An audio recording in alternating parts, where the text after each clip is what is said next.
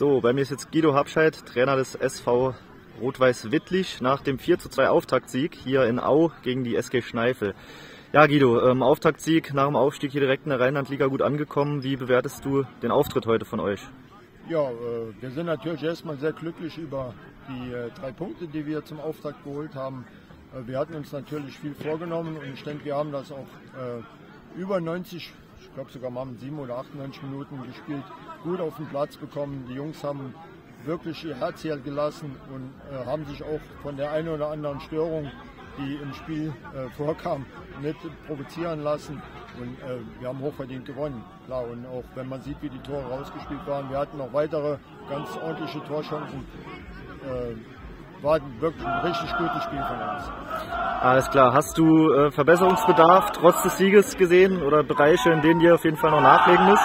Ja, es gibt immer Verbesserungsbedarf. Äh, wir haben zwei Tore kassiert. Äh, die waren beide unnötig gewesen und äh, wir hätten auch das ein oder andere Tor mehr schießen können. Also wenn wir unsere Chancen vielleicht noch ein bisschen konzentrierter ausgespielt hätten. Alles klar. Dankeschön und viel Erfolg.